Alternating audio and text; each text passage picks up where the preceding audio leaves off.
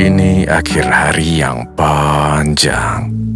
Saatnya pulang, meregang, merebah. Karena kita sampai di rumah.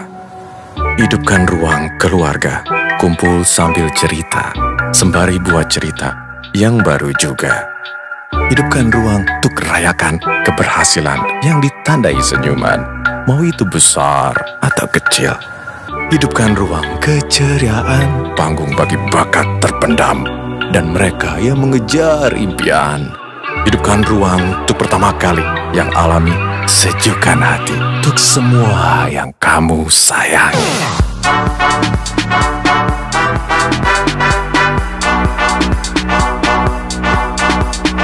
Hidupkan ruang untuk buat lebih indah dengan hangatnya kebersamaan.